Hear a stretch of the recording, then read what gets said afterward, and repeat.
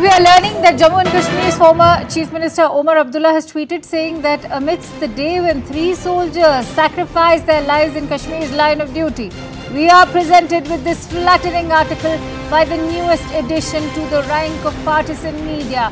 Surprisingly, all the infrastructure projects they have showcased here were initiated before 2019. The roads and tunnels owe their beginning to Dr. Manmohan Singh, just as the Chenab railway bridge. The conception and inauguration of the Gulmarg gondola occurred during Dr. Farooq Abdullah's tenure as the chief minister.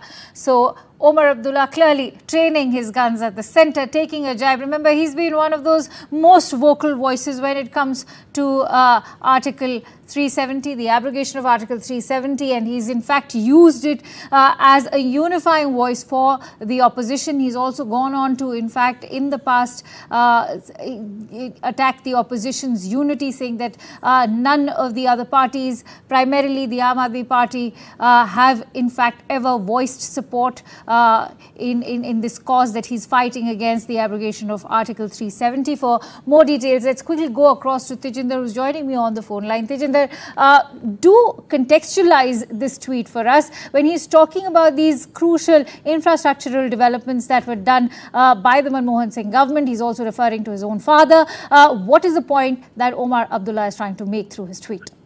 Uh, uh, see, uh, see, ever since Article 370 has been abrogated, uh, there has been several developmental projects that have been launched in the Union Territory of Jammu and Kashmir by the central government. Prior to uh, the abrogation of Article 370, there were several projects which could not be launched in the uh, in the erstwhile state of Jammu and Kashmir because Article 370 played an impediment but now that 370 has been abrogated, these political parties, be it the PDP or the National Conference, they have been trying to take credit of all the development that is taking place.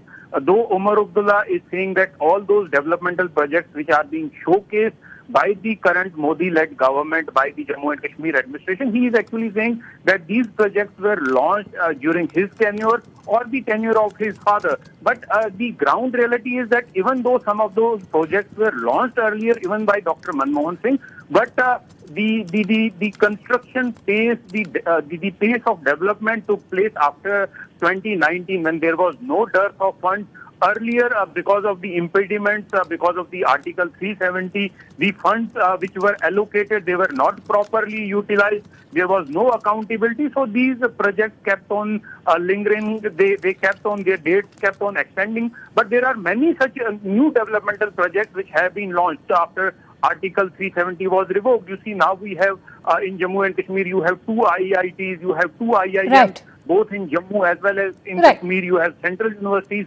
Uh, you have AIIMS now. Yes, so you're rightly pointing out, you know, while that is one end of the spectrum, what uh, Omar Abdullah has to say, but the fact of the matter remains that the BJP government has been very vocal in voicing how, uh, the, you know, they've done away uh, with unjust laws. They've also brought in equity and fairness to those discriminated since ages, which is not now happening because Article 370 has been abrogated. There's, they've also ensured that there's greater empowerment of people when we talk about also relocating uh, those displaced. That's also something that the centre has been able to achieve. It's important to also highlight what the central government has been able to achieve via the abrogation of Article 370.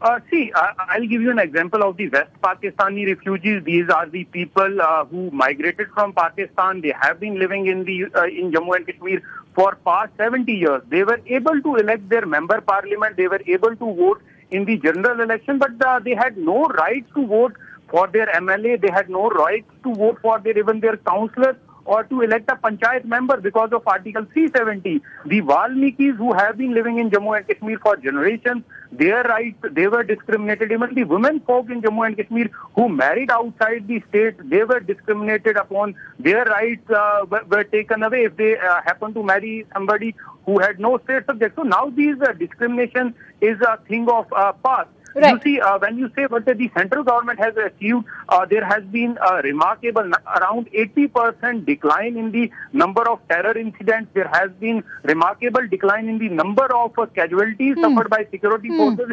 Even the civilian casualties in terror attacks have come down. In So fact, this- if we the- talk the about it politically also, Tejinder, uh, when we talk about opposition as a whole itself, we've also heard Omar Abdullah, you know, come out in the open and attack the opposition when it comes to uh, the whole issue of opposition unity. He's been very vocal saying that uh, what are we talking about op- opposition unity when nobody, in fact, he's clearly trained his guns at Aam Aadmi Party and Arvind Kejriwal in the past as well, saying that why should we uh, support them when, when they did not support us when it came to the issue of abrogation uh, of Article 370. So, uh, take us also through how this has impacted, uh, this entire topic has impacted opposition unity as a whole. Uh, see, we all know that Omar Abdullah had attacked the opposition even when uh, the, uh, the, the, the Delhi uh, uh, uh, issue came out. Omar Abdullah said that it was Arvind Kejriwal who did not support uh, the people of Jammu and Kashmir and the, the the Omar Abdullah he did not support their stand when Article 370 was abrogated. So now why they are take, why do they want support uh, from uh, when when when the, uh, the the ordinance of uh, for Delhi powers it, it came up and uh, uh, Arvind Kejriwal wanted all the opposition parties to oppose it. Omar Abdullah has been quite vocal, but it seems that uh, they have some compulsion to join hands with uh, with all the political parties because they want to make a joint front uh, to fight uh, the NDA government led by Prime Minister Narendra Modi. So this seems to be a compulsion. But on ground in Jammu and Kashmir, the reality seems to be entirely different. And these political parties, uh, especially the Kashmir-based political parties, they seem to have lost their uh, touch with the people across uh, Jammu and Kashmir. You see, uh, these political parties are in a confusion because they have to speak one voice in Kashmir Valley, and when they come and address the people in Jammu, they have Right. to speak a different voice because uh, people across the Union Territory of Jammu and Kashmir, they have very well accepted the fact that Article 370 is a gone topic now. Uh, what they have to discuss, they have to discuss how to end terrorism, how to ensure that uh, the people in Jammu and Kashmir they uh, see development that is taking place. Uh, the people in Jammu and Kashmir they want their uh, children to get good, good education. They want their children to get good employment as uh, the people Right. across the country are getting. So this is something which uh, the political parties in Jammu and Kashmir, especially the PDP, the National Conference, they have to come to uh, terms with this reality now. Yes. Absolutely. Quite a landmark day as far as the fourth anniversary of the abrogation of Article 370 is concerned. Many thanks to you, Tejinder Singh Sodhi, for bringing in all those inputs. On that note, let me also bring you all uh, the ground reports that CNN News 18 is covering so far. How has uh, the abrogation of Article 370 impacted day-to-day life in Jammu and Kashmir? Let's have a quick look.